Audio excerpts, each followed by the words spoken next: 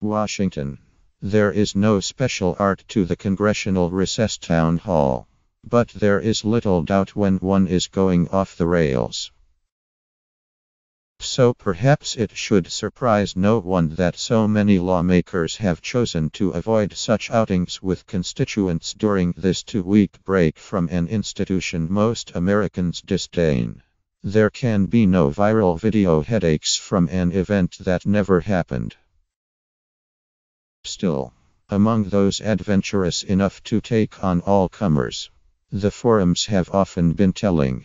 Here is what we've learned, or relearned, during the recess so far. Some Republicans have bigger targets on their backs, and know it. Few Republican senators need to sweat much before the midterm elections next year.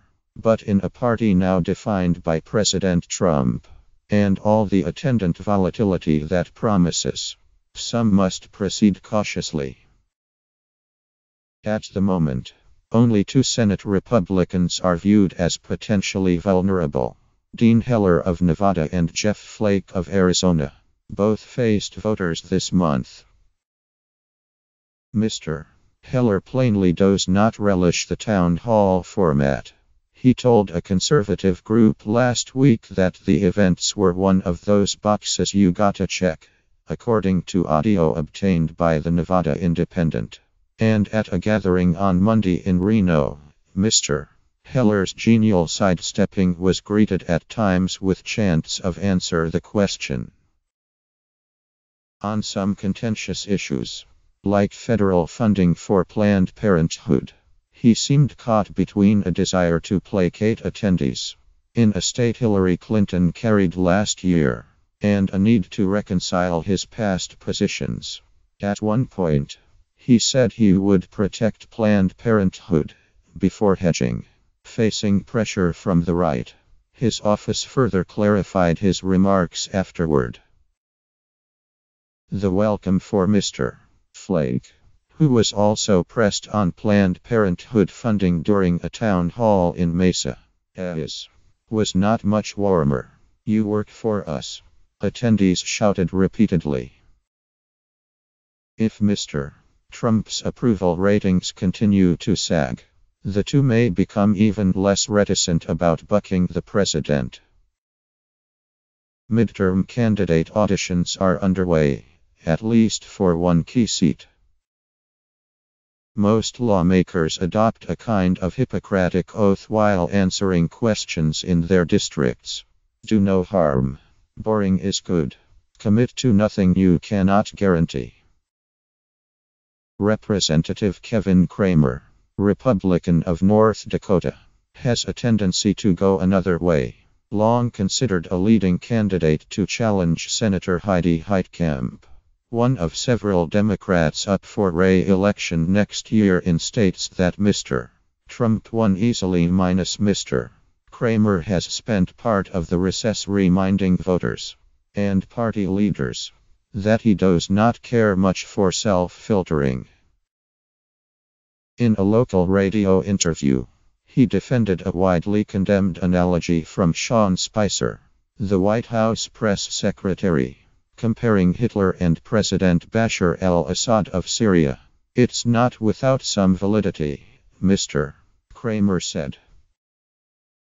According to a CNN report last week, Republican officials have begun privately arguing against a run by Mr. Cramer. Mr. Cramer has said that Republicans in Washington do not understand his state. I do say what's on my mind, he said in an interview, adding that no one at any level of Republican leadership had expressed any concerns to him. He noted that he interacted with voters far more often than many colleagues do. I expose myself a lot, he said. That's the best way I can put it. Democrats are still mad, and it's not just about health care. Though the last recess included no shortage of outrage over the president's Twitter posts, his team's ties to Russia and other assorted controversies one topic dominated Health care. Several weeks later, after the Republican health care bill's failure in the House, the national focus has become more diffuse. Health care remains top of mind, and supporters of Planned Parenthood made their presence known at several events. But other issues, from climate change to Mr. Trump's tax returns, often found their way into the mix. For Democrats, who say that momentum from the last recess helped defend the Affordable Care Act against dismantling upon their return. There is some risk in dividing the party's focus, scrapping with Mr. Trump and other Republicans on multiple fronts. Still, Democratic lawmakers and activists insist they can walk and chew gum at the same time. Sometimes, the town halls can resemble group therapy. In 2009, Representative Joe Wilson, Republican of South Carolina, shot to national prominence by shouting You lie at President Barack Obama during a presidential address to Congress. Since then, Mr. Wilson has generally coasted to re election winning last year by more than 24 points. When Democrats dream of retaking the House, Mr. Wilson's seat is nowhere near their radar. And yet, voters appeared to achieve a sort of catharsis at his event last week, drowning him out at one point by hollering those two familiar words You lie. The electoral upside of such a display is probably limited. But the moment, which ricocheted across social media, seemed to galvanize the progressive base. Clips from a session with Senator Tom Cotton of Arkansas, a vocal Trump supporter, had a similar effect. The senator was booed heavily as he defended Mr. Trump's refusal to release his tax returns. As far as I'm aware, the president says he's still under audit, Mr. Cotton said, to Jeers. Lawmakers returning to Washington might be even more chastened. Silver linings have not been entirely out of sight for Republicans. While voter fury remains high, most members avoided memorable stumbles over the recess. Two closely watched special elections for House seats in Kansas and Georgia provided signs of renewed hope for Democrats. But Republicans averted disaster in both cases. Still, the combination of anger at home and uncertainty about the national political climate as Mr.